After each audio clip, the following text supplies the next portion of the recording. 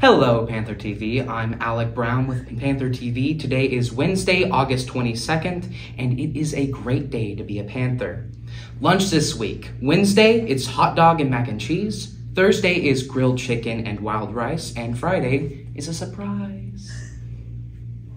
This week, announcements. Wednesday, 823, there is a Stuco meeting during seminar.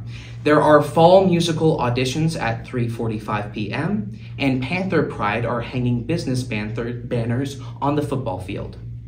For Thursday, seminar, Jostens class ring, uh, meeting for all sophomores, girls tennis at Lyons, 3 p.m., and Panther Spirit Night.